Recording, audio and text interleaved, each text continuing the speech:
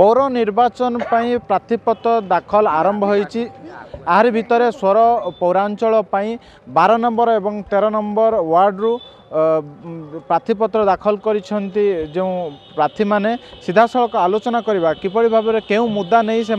নির্বাচন লড়ুচার এবং ভারতীয় জনতা পার্টি তরফর কিভাবে ভাবে সে নির্বাচন কু ওহ্লাইছেন আজ্ঞা আপনার অর্গস নিউজ কু স্বাগত যে কিভাবে ভাবে আপনার নির্বাচন কু ওহ্লাইছেন কোণ কোণ মুদা নিয়ে আপনার নির্বাচন কু ওহ্লাইছেন মু মুক্তিকান্ত মহাপাত্র মু ওয়ার্ড নম্বর তেরু ভারতীয় জনতা পার্টির পারিষদ প্রার্থী ভাবে আজ ପ୍ରାର୍ଥୀପତ୍ର ଦାଖଲ କରିଛି ସୋର ମ୍ୟୁନିସିପାଲିଟି ତଥା ସରକାରଙ୍କ ତରଫରୁ ଯେଉଁଭଳି ଭାବରେ ସାଧାରଣ ଲୋକଙ୍କ ଉପରେ ଜୁଲମ ହେଉଛି ସଫେଇ ନାଁରେ ଚାନ୍ଦା ଆଦାୟ ହେଉଛି ସରକାରଙ୍କ ରାଜକୋଷରୁ ମାସକୁ ପାଞ୍ଚ ଲକ୍ଷ ଟଙ୍କା ସଫେଇ ବାବଦରେ ଦିଆଯାଉଥିଲା ବେଳେ ଯେଉଁଭଳି ତାକୁ ହରିଲୁଟ୍ କରାଯାଉଛି ସଫେଇ ଟୋଟାଲି ହେଉନାହିଁ ଲାଇଟ୍ ଫିକେସନ୍ ଇଲେକ୍ଟ୍ରିଫିକେସନ୍ ନାହିଁ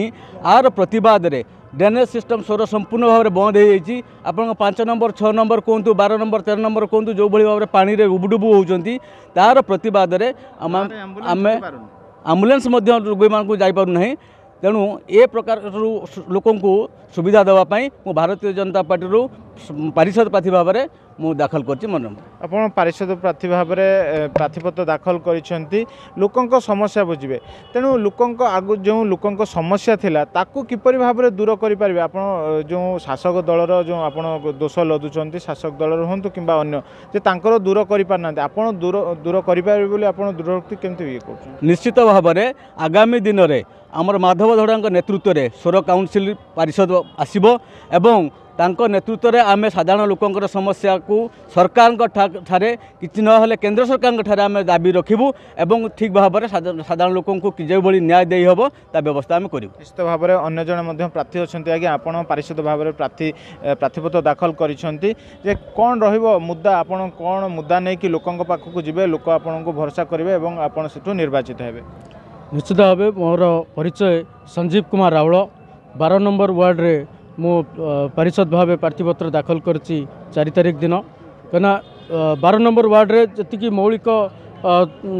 ସମସ୍ୟା ଅଛି ତାକୁ ସୁଧାରି ପାରିବି ବୋଲି ଆଗେଇଛି କାହିଁକିନା ସମସ୍ୟା ତ ସବୁବେଳେ ପାଇଁ ଜଡ଼ିତ ହୋଇକି ଅଛି ସେ ୱାର୍ଡ଼ରେ ସେ ସମସ୍ୟାକୁ ମୁଁ ଦେଖି ଦେଖି ଆଜିକି ପାଞ୍ଚ ଦଶ ବର୍ଷ ହେବ ଦେଖି ଆସୁଛି ନିଶ୍ଚିତ ଭାବେ ମୁଁ ମୌଳିକ ସମସ୍ୟା ଗୁଡ଼ିକ ସୁଧାର କରିବି ଯଦି କହିବା ଆପଣ ଜଣେ ଯୁବକ ଏବଂ ଯୁବଗୋଷ୍ଠୀ ପାଇଁ କ'ଣ ଆପଣଙ୍କ ଯୁବଗୋଷ୍ଠୀ ପାଇଁ ସେମିତି ଆଖିଦୃଶିଆ କ'ଣ କରିପାରିବେ ଯେଉଁଥିପାଇଁ ଯୁବଗୋଷ୍ଠୀ ଆକୃଷ୍ଟ ହେବେ ଏବଂ ଆପଣ ମଧ୍ୟ ଯୁବକ ଭାବରେ ସେ କାର୍ଯ୍ୟକୁ ତୁଲାଇ ପାରିବେ ଯୁବକମାନଙ୍କ ପାଇଁ ଓଡ଼ିଶାରେ ଯୁବକମାନଙ୍କ ପାଇଁ କେଉଁଠି ଗୋଟେ ସ୍ଥାୟୀ ନାହିଁ କାହିଁକିନା ଓଡ଼ିଶା ଭିତରେ ସେ ରହିବା ପାଇଁ ଚାହୁଁଛନ୍ତି ବାହାର ରାଜ୍ୟକୁ ଯାଉଛନ୍ତି ସେଥିପାଇଁ ଆମେ ଚେଷ୍ଟା କରିବୁ ଆମ ୱାର୍ଡ଼ରେ ଯେଉଁମାନେ ଯୁବକ ଅଛନ୍ତି ତାଙ୍କୁ ଚେଷ୍ଟା କରିବୁ ଓଡ଼ିଶା ଭିତରେ ଯେକୌଣସି ଜାଗାରେ ଠିକ୍ ଭାବରେ ପରିଚୟ ଦେଇ ଗୋଟେ ଜାଗାରେ ସ୍ଥାୟିତ୍ୱ କରିବୁ ନିଶ୍ଚିତ ଭାବରେ ଯେଉଁ ପ୍ରତିକ୍ରିୟା ଦେଉଥିଲେ ଯେ ଲୋକଙ୍କର ଯେଉଁ ମୌଳିକ ସୁବିଧା ପାଇପାରି ନାହାନ୍ତି ସେ କିପରି ମୌଳିକ ସୁବିଧା ପାଇପାରିବେ ଏବଂ ଯେଉଁଭଳି ଭାବରେ ଯୁବଗୋଷ୍ଠୀ ବର୍ତ୍ତମାନ ଯେଉଁ ନିଯୁକ୍ତିର ଅଭାବ ରହିଛି କିପରି ଭାବରେ ଯୁବଗୋଷ୍ଠୀକୁ ଥଇଥାନ କରାଯାଇପାରିବ ସେଥିପ୍ରତି ମଧ୍ୟ ଧ୍ୟାନ ଦେବେ ବାଲେଶ୍ୱର ଜିଲ୍ଲା ସ୍ୱରରୁ ଗଦାଧର ସାହୁ ଅର୍ଗସ୍ ନ୍ୟୁଜ୍